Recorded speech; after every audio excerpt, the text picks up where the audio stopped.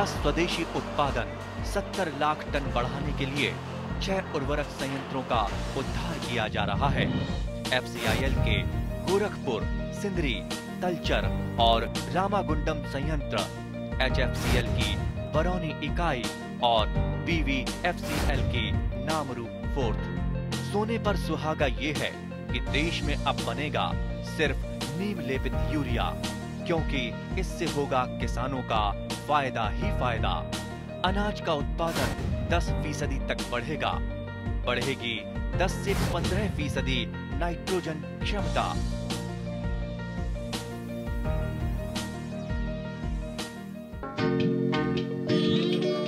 গোপালনে আজি ৰাজ্যখনৰ বহু নিবনুৱাক দিছে সংস্থাপনৰ সুযোগ গোপালনৰ জৰিয়তে আত্মনিৰ্ভৰশীল হৈছে বহুজন এয়া দৰং জিলাৰ খাটনীয়াপাৰাৰ এনে এজন যুৱক হেদায়তুল্লাৰ গোপাম।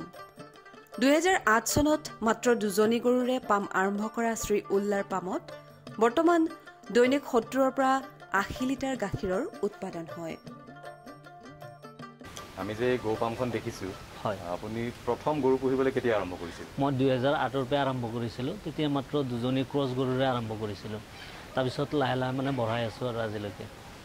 বৰ্তমান আপোনাৰ কিমান আছে গৰু? বৰ্তমান পোন্ধৰজনী আছে।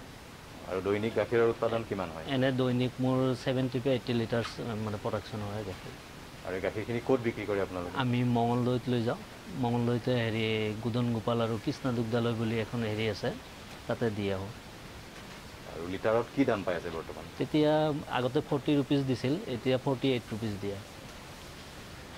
আৰু আমি যে এতিয়া আপুনি গৰু বঢ়াইছে মানে কৃত্ৰিম প্ৰজননে কৰাইনে অঁ হয়। আমি মানে মোৰ ফাৰ্মখনত কৃত্ৰিম প্ৰজনন কৰাই কৰাই মানে এইচ এফৰ পালোঁ চাহিয়াল পালোঁ গিৰৰো পাইছোঁ এইবাৰ। আৰু আপোনাৰ অভিজ্ঞতাৰ পৰা ধৰক এই চাহিৱাল গিৰ বা জাৰ্চি এই আটাইকেইটাৰ ভিতৰত আপুনি উৎপাদন কাৰ বেছি পাইছে বৰ্তমান? এনে প্ৰডাকশ্যন এইচ এফবিলাকৰ বেছি হয় কিন্তু জাৰ্চি আৰু এইচ এফ দুয়োটা মানে অকণমান ডিফাৰেঞ্চ হয়। কিন্তু আপোনাৰ হেৰিৰ কাৰণে আপোনাৰ ফেট পাৰ্চেণ্টৰ কাৰণে চাহিয়াল আৰু গিৰৰ কাৰণে ভাল হয়। মানে চাহিৱাল আৰু গিৰৰ ফেটটো অলপ ভাল হয়। চৰ্বিৰ পৰিমাণটো বেছি। হয়। ৰাজ্যিক পশুপালন আৰু পশু চিকিৎসা বিভাগ আৰু দৰং জিলা কৃষি বিজ্ঞান কেন্দ্ৰৰ পৰা বিজ্ঞানসন্মত গোপালনৰ প্ৰশিক্ষণ লাভ কৰা শ্ৰী উল্লাই দুহেজাৰ চৈধ্য চনত এটি ৰাজসাহাৰ্যযুক্ত পাঁচ লাখ টকীয়া ঋণ লাভ কৰে। ইমান বছৰ গৰু পুহি আছে? আপুনি গোটেইখিনি নিজৰ মূলধনেৰে কৰিছে নে বেংকৰ ঋণ লৈছিলে কেতিয়াবা? প্ৰথমতে নিজৰ মূলধনেৰে আৰম্ভ কৰিছিলোঁ তাৰপিছত দুহেজাৰ চৈধ্যত মানে নাবাৰ্ডৰ পৰা এখন ঋণৰ হেৰি কৰিলোঁ ঋণৰ পৰা আকৌ বঢ়াই লৈছিলোঁ। কিমান টকাৰ ঋণ পাইছিলে? তেতিয়া মই এনে পাঁচ লাখ টকাৰ ঋণ লৈছিলোঁ। তাত কিবা সাহায্য সাহায্য তাতে? তাতে আছিল। টুৱেণ্টি ফাইভ কে সাহাৰ্য আছিল। মানে এক লাখ পঁচিছ হাজাৰ টকা পঁচিছ হাজাৰ সাহায্য সাহাৰ্য পাইছে। পাইছিলোঁ। সেই লোনটো আপুনি সম্পূৰ্ণকৈ মাৰিলে? হয় অকণমান হেৰি হৈ আছে পেণ্ডিং হৈ আছে লকডাউনৰ কাৰণে ৰিকভাৰী কৰিব পৰা মানে তথাপিও বেছিভাগে আপোনাৰ হয় পৰিশোধ কৰা হৈছে। আৰু এই লকডাউনৰ সময়ত গাখীৰ বিক্ৰীত আপোনালোকৰ অসুবিধা হৈছিল নেকি? বহুত অসুবিধা হৈছে। প্ৰথম অৱস্থাত যেতিয়া লকডাউন আৰম্ভ হ'লে তেতিয়া ঊনৈছ বিছততো একেবাৰে বেয়াই আছিল। তাৰপিছত এই একৈছত অকণমান মানে খোলা হোৱাৰ কাৰণে আগতকৈ অকণমান ভাল হৈছে। খুব বেছি এটা ভাল হোৱা নাই যদিও অকণমান ভাল হৈছে আৰু। তথাপিও আপোনাৰ যিটো পৰিয়াল এই গৌ পামখনৰ উপাৰ্জনেৰে চলি আছে বৰ্তমান। হয় কমপ্লিট মোৰ গো ফাৰ্মখনৰ ওপৰতে মোৰ পৰিয়ালখন চলে। কিমানজনীয়া পৰিয়াল আপোনাৰ? মোৰ এনে পাঁচজনীয়া পৰিয়াল মোৰ মা দেউতা আৰু ৱাইফ আৰু ছোৱালী এজনী আছে। আৰু এই গৌ পামখন আপুনি পৰিচালনা কৰাৰ ক্ষেত্ৰত কৃষি বিজ্ঞান কেন্দ্ৰই হওক বা আমাৰ পশুপালন বিভাগেই হওক কেনেকুৱা ধৰণৰ সহায় সহযোগিতা পাইছে? এনে কৃষি বিজ্ঞান কেন্দ্ৰৰ পৰা অলপ বেছি পাইছোঁ যদিও মানে হেৰিৰ পৰাও পাইছোঁ ভেটেনাৰী ডিপাৰ্টমেণ্টৰ পৰাও পাইছোঁ। যেতিয়া মানে অসুবিধা হৈছিল তেওঁলোকক মাতোতে আহিছিল পৰামৰ্শ আগবঢ়াইছিল। সেনেকৈ মানে প্ৰশিক্ষণৰো ব্যৱস্থা কৰিছিল। তাৰপিছত প্ৰশিক্ষণ লোৱা হ'ল। কে ভি কেৰ পৰাও ল'লোঁ। এনে যোৱাবাৰ লকডাউনত অনলাইন যোগেও ক্লাছ হ'ল। তেতিয়াও মানে অলপ মানে শিকাইছিল। সেনেকৈ মানে অভিজ্ঞতাখিনিয়ে হৈছিল আৰু। আৰু এই প্ৰশিক্ষণবিলাকৰ দ্বাৰা আপুনি কিবা উপকৃত হোৱা বুলি ভাবিছেনে নিজে? হয় হয়। কিছুমান বেমাৰ আজাৰৰ বিষয়ে আগতে জনা নাছিলোঁ। মানে প্ৰেক্টিকেলি ফেচ কৰিবলগীয়া হৈছিল। এতিয়া মানে এইখিনি মানে নিজে মানে আগতীয়াকৈ গম পাওঁ ডক্টৰজনক ডাইৰেক্টলি ক'ব পৰা যায়। এনেকুৱা এনেকুৱা চিংটন দেখা পাইছোঁ এইটো বেমাৰ হৈছে বুলি ক'ব পৰা যায়। আপুনি পেলুৰ ঔষধ নিয়মীয়াকৈ খুৱায়? অঁ হয় তিনি মাহৰ মূৰে মূৰে খোৱা যায় বছৰত চাৰিবাৰ খোৱা যায়। আৰু কি কি বেমাৰৰ প্ৰতিষেধক দিয়ে আপুনি? এনে হেৰি ভেকচিন দিয়া হয় আপোনাৰ এফ এম ডিৰ কাৰণে। তাৰপিছত আপোনাৰ এনে পেলু ড'জবিলাক নিয়মীয়াকৈ দিয়া হয়। এনে লিভাৰো দিয়া হয়। কেলছিয়াম আৰু? হয়। গলফুলা দিয়া নাই বৰ্তমান। দিয়া নাই। আৰু এতিয়ালৈকে আপোনাৰ ধৰক ইমান বছৰ যে গৰু পুহিলে। হয়। কি বেমাৰ আপুনি বেছিকৈ পাইছে? এনে মোৰ প্ৰব্লেম প্ৰথমতে মেষ্টাইটিছৰ প্ৰথম হৈছিল। প্ৰথম অৱস্থাত মানে জনা নাছিলোঁ। তেতিয়া মানে মেষ্টাইটিছৰ প্ৰব্লেমটো বেছিকৈ পাইছিলোঁ। তাৰপিছত অলপ ক্লিন চাফা কৰিলোঁ তাৰপিছত আপোনাৰ হেৰি কৰিলোঁ। কৰাৰ পিছত মানে জনা হ'লোঁ যেতিয়া যে চাফ চিকুণকৈ ৰাখিলে আৰু বীজাণুনাশক এনেকৈ হেৰিকেটবিলাক ছটিয়াই থাকিলে পটাছ পানীৰে ধুই দিলে। তাৰপিছত এনেকৈ ধুই দিওঁতে মানে লাহে লাহে কমি আহিছে। এতিয়া বৰ্তমান মেষ্টাইটিছৰ প্ৰব্লেম নাই। আৰু আপোনাৰ গৰুবিলাকৰ পেলুৰ জনা নাছিলোঁ। নিয়মীয়াকৈ পেলু দিব লাগে। পেলু নিদিয়াৰ কাৰণে গৰুবিলাকৰ হেল্থৰ কাৰণে প্ৰব্লেম হৈছিল। গাখীৰ কমি যায় প্ৰডাকশ্যন আপোনাৰ গৰুবিলাক ক্ষীণাই যায়। আপোনাৰ হেৰি পোৱালিবিলাক ইমান হেৰি নহয় মেচুৰ্ড নহয়। সেইকাৰণে মানে প্ৰব্লেম হয় হিটৰ ক্ষেত্ৰত প্ৰব্লেম হয় ৰিপিট হৈ থাকে। এনেকুৱা প্ৰব্লেমবিলাক ফেচ কৰি আছিলোঁ আৰু। আপুনি ঘাঁহৰ খেতি কৰিছে নেকি? অ, হয় নেপিয়া ঘাঁহৰ খেতি কৰিছিলোঁ। আৰু ঘাঁহৰ খেতি কৰি মানে হেৰি কৰিছোঁ খেৰটোৰপে অকণমান হেৰি পায়। এই নেপিয়াৰ ঘাঁহ ক'ৰ পৰা আনিছিলে আপুনি? প্ৰথমতে এগ্ৰিকা হেৰিৰ পৰা লৈছিলোঁ আমি চিটছবিলাক এই আপোনাৰ ভেটেৰিনেৰীৰ পৰা তেওঁলোকৰ পৰা লৈ আহিলোঁ। তাৰপিছত যোৱাবাৰ আকৌ হেৰিৰ পৰা ল'লোঁ মেজ আৰু কে বি কেৰ পৰা গোপালনক জীৱিকা হিচাপে গ্ৰহণ কৰি শ্ৰী উল্লাহ সন্তুষ্ট আৰু সুখী। গোপালনকেই বৃত্তি হিচাপে লৈ সুন্দৰকৈ পৰিয়ালটো ভৰণ পোষণ দিব পাৰিব বুলি তেওঁ সম্পূৰ্ণ আশাবাদী। আৰু ভৱিষ্যতে আপুনি গৰু বঢ়াম বুলি ভাবিছে নেকি? বা পৰিকল্পনা কি আছে?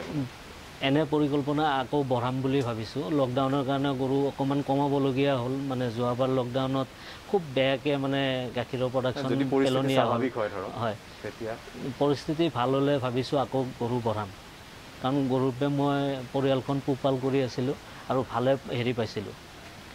মানে গৌপালনৰ দ্বাৰা আপুনি সুন্দৰকৈ পৰিয়ালটো চলাই নিব হয় কাৰো তাতে যাবলগীয়া নহয় নিজে মানে স্বাৱলম্বীকৈ চলিব পৰা যায়। এখন গোপামৰ প্ৰতিপালন ব্যৱস্থা বিজ্ঞানসন্মত হ'লেহে পামখন লাভজনক হ'ব। বিজ্ঞানসন্মত প্ৰতিপালন ব্যৱস্থাৰ প্ৰথম চৰ্তই হ'ল গোপামৰ বাবে উপযুক্ত স্থান নিৰ্বাচন সঠিক জাত নিৰ্বাচন আৰু বিজ্ঞানসন্মত গোহালি নিৰ্মাণ। গোপাম স্থাপন কৰিবলগীয়া স্থানলৈ যাতায়াতৰ সুব্যৱস্থা থাকিব লাগে বিজুলী যোগান আৰু পানীৰ ব্যৱস্থা থাকিব লাগে। গোহালিটোত ৰ'দ বতাহ সোমাব পৰা হ'ব লাগে। জেকা দ ঠাইত গোহালি স্থাপন কৰিব নালাগে। গোহালিৰ মলমূত্ৰ আদি ওলাই যোৱাৰ সুব্যৱস্থা থাকিব লাগে। ইয়াৰ উপৰিও পাম এখন লাভজনক হ'বলৈ হ'লে সময়মতে প্ৰয়োজনীয় প্ৰতিষেধক প্ৰদান কৰি সেই ৰোগসমূহৰ পৰা গোধনক মুক্ত কৰি ৰাখিব লাগে। তদুপৰি আমাৰ ৰাজ্য অসম যিহেতু এখন বান অধ্যুষিত ৰাজ্য সেয়েহে পশুধনক নিয়মীয়াকৈ পেলুৰ দৰৱ খুৱাব লাগে। এই বিষয়ে দৰং জিলা পশুপালন আৰু পশু চিকিৎসা বিষয়াৰ অধীনৰ পশু চিকিৎসা বিষয়া ডাঃ প্ৰশান্ত কুমাৰ ৰয়ে এনেদৰে কয়। এতিয়া দেখা গৈছে যিসকল গোপালক আছে তেওঁলোকে গোপালন কৰে তেওঁলোকে বিভিন্ন ধৰণৰ ট্ৰেইনিং লয়।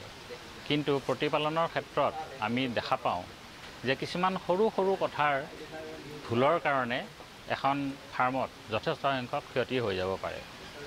যেনে আমি এখন ফাৰ্মত মই কেইটামান কি কি পইণ্ট হিচাপে কওঁ যিটো কৰিলে এখন ফাৰ্মত বিভিন্ন ধৰণৰ বেমাৰ আজাৰ নহ নোহোৱাকৈ থাকিব পাৰে। এতিয়া ফাৰ্ম এখনত লাভ কেতিয়া হয়? যেতিয়া আমি বিভিন্ন ধৰণৰ ৰোগ কণ্ট্ৰল কৰি ৰাখিব পাৰোঁ আৰু লগতে উৎপাদন বেছি কৰিব পাৰোঁ। গতিকে এই দুটা কৰিবৰ কাৰণে আমি সদায় কেইটামান সৰু সৰু কথা আমি চাব লাগে যেনে প্ৰথম হ'ল এই পৰজীৱী কণ্ট্ৰল মানে যিটো আমাৰ কয় পেৰাচাইট কণ্ট্ৰল বুলি কয় সেইটো কণ্ট্ৰল এতিয়া পেৰাচাইট বা পৰজীৱী দুই ধৰণৰ থাকে এটা থাকে এক্সটাৰ্নেল পেৰাচাইট আৰু এটা থাকে ইণ্টাৰনেল পেৰাচাইট গতিকে এই দুই ধৰণৰ পেৰাচাইট কণ্ট্ৰল কৰাটো একেবাৰেই সহজ। গতিকে সেইখিনি কৰি থ'লে আমাৰ যথেষ্ট সংখ্যক ফাৰ্মাৰসকল উপকৃত হ'ব। কাৰণ পৰজীৱীৰ পৰা বিভিন্ন ধৰণৰ বেমাৰ উৎপন্ন হয়। যেনে এক্সটাৰ্নেল পেৰাচাইটৰ পৰা এক্সটাৰ্নেল পেৰাচাইট বা যিসকল বাহিৰত থকা পৰজীৱী সেইবিলাক যেনে মহ দাহ কীট চিকৰা এই এই এইবোৰ বস্তুৰ পৰা বিভিন্ন ধৰণৰ বেমাৰ হয়।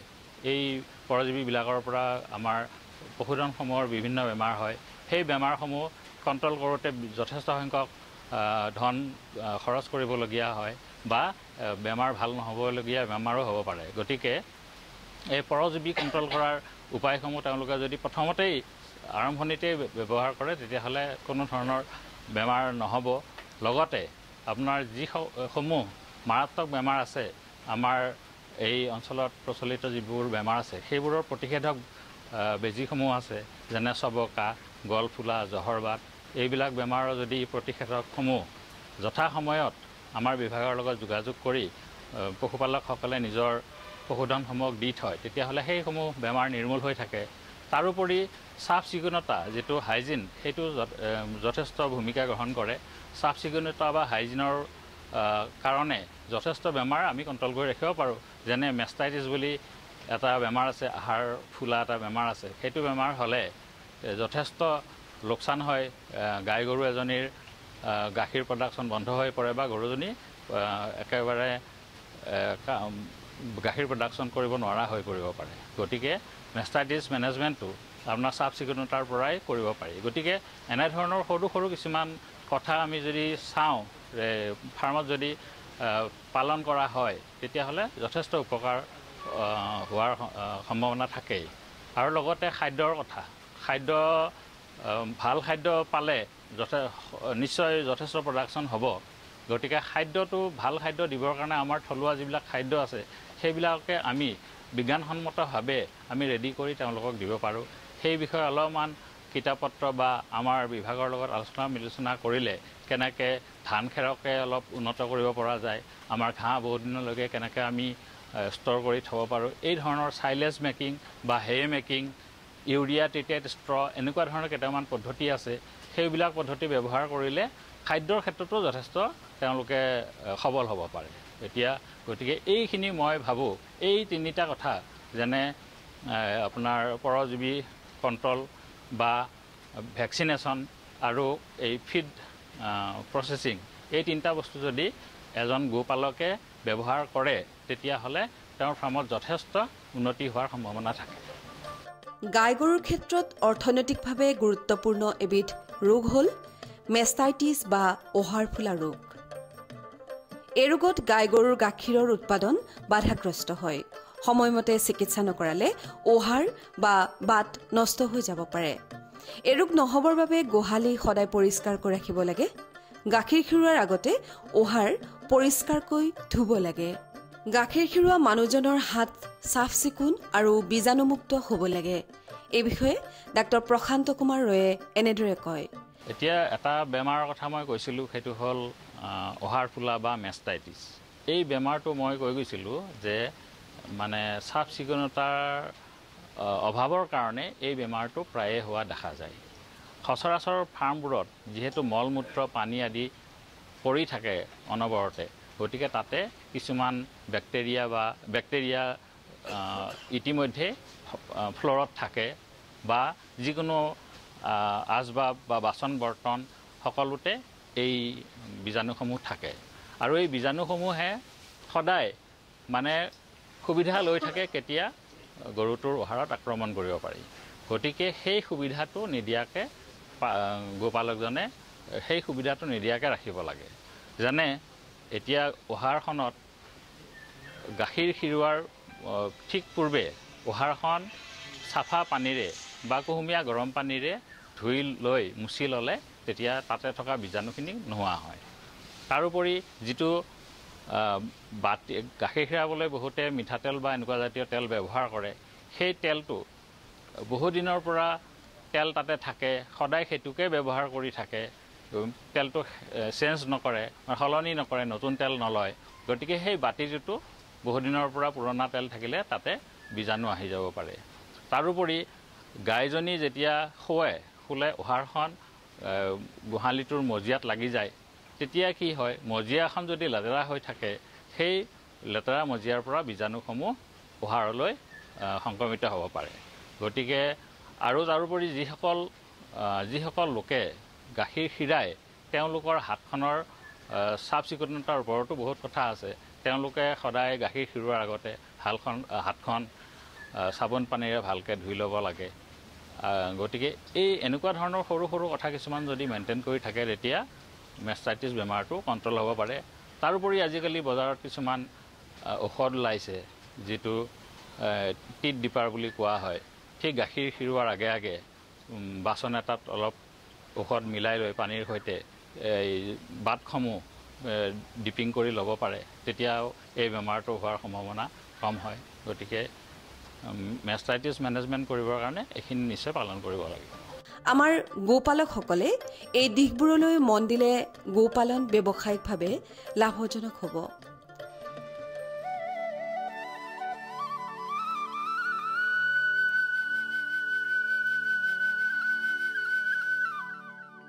কাঞ্চা? অঁ ডক্টৰ বাবু।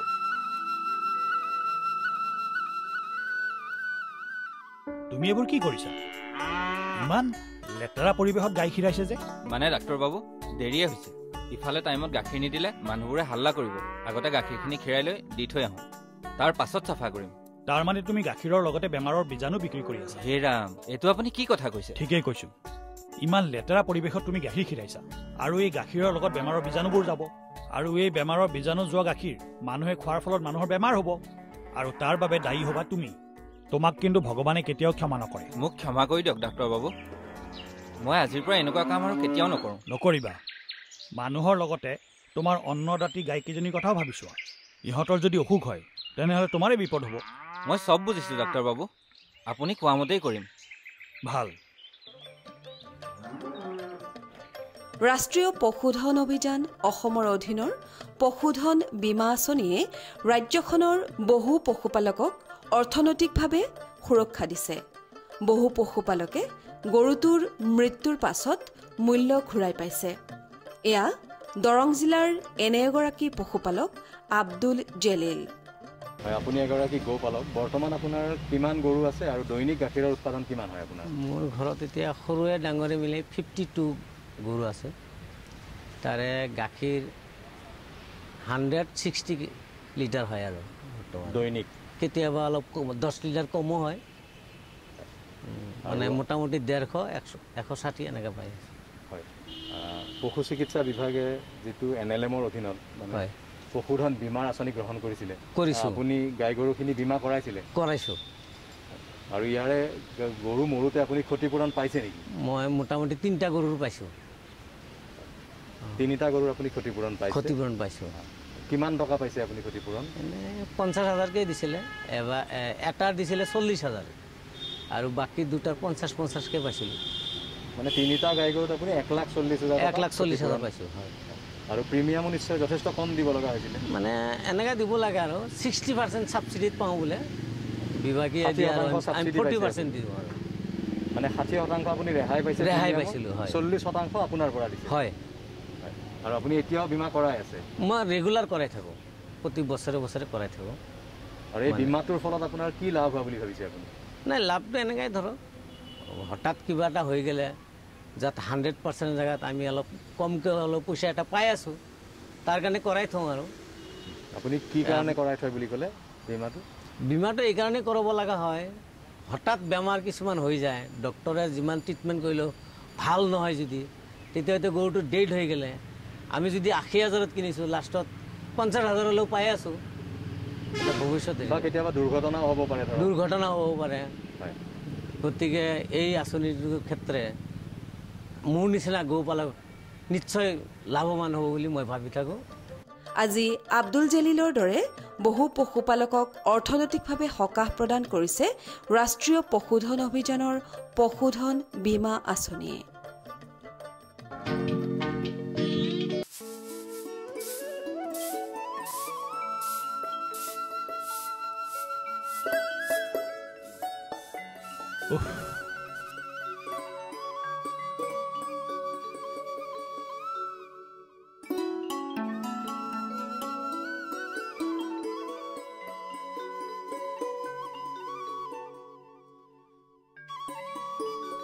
শুনকচোন। আপুনি এবাৰ মোক মুৰ্গী পোৱালি দুটামান আনি দিবচোন। বাহ এইবাৰ মুৰ্গী পুহিবলৈ মন গ'ল নেকি? তাকেইহে কিবা এটা ভাবিছোঁ ৰ'ব। হ'ব দিয়া জোৰা মাৰিব পাৰিলে আনি দিম দিয়া।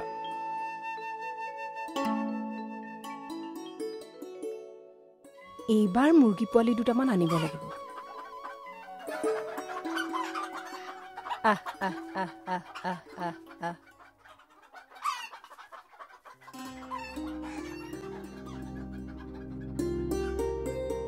শুনকচোন। হা কিবা আনিব লাগিব? নালাগে। আপুনি আজি সেইটো চোলা পিন্ধি যাব নালাগে। কিয়? এইটো লওক। আৰে? এইটো দেখোন নতুন চোলা। তুমি এইটো কিনিবলৈ পইচা ক'ত পালা? অঁ তাৰমানে বুজিলোঁ।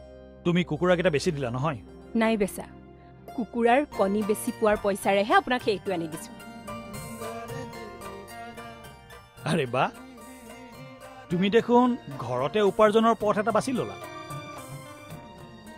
ঠিকেই ঘৰতে থকা বহু মহিলাই কম খৰচতে ঘৰখনত এটা উপাৰ্জনৰ পথ বাছি ল'ব পাৰে।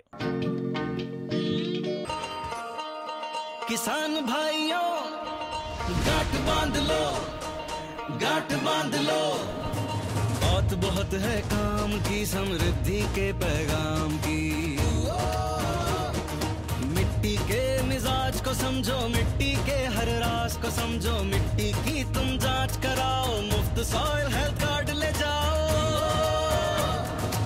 कभी मुनासिब बीज लगाओ, सही किस्म की खाद ले आओ। जितनी ज़रूरी उतनी डालो, सही मात्रा खुद पहचानो। इसको अपना मंत्र बना लो, मिट्टी की सेहत तो जानो। बात बहुत है काम की, कम लागत अधिक वरदान की। किसान भाइयों, गांठ बाँध लो। आज ही मिट्टी की जांच कराएं राज्य सरकार के कृषि अधिकारी से संपर्क करें और मुफ्त में सॉइल हेल्थ कार्ड पाएं कृषि और किसान कल्याण मंत्रालय द्वारा किसान हित में जारी কৃষকসকলৰ বিভিন্ন সমস্যাৰ সমাধানৰ লগতে শেহতীয়া প্ৰযুক্তি আৰু প্ৰয়োজনীয় আনুষংগিক দিশৰ বিষয়ে জানিবৰ বাবে চাবলৈ নাপাহৰিব কৃষি দৰ্শন প্ৰচাৰিত হয় প্ৰতি সোমবাৰৰ পৰা শুকুৰবাৰলৈ সন্ধিয়া চাৰে পাঁচ বজাৰ পৰা ছয় বজালৈ